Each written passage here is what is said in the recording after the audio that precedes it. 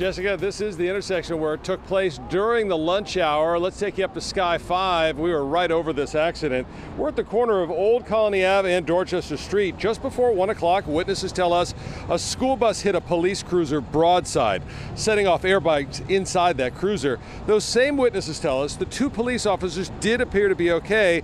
They were extricated. We are told they were transported to a local hospital with non life threatening injuries. As for the bus, there was only one student on board we're told both the driver and the student were okay. In fact, we're told the student's mother did come to the scene. The student and the driver were taken to the hospital for observation, but we were told they will be okay. As for responsibility, witnesses told us the driver may have run a red light and hit the cruiser. That will be determined in the future.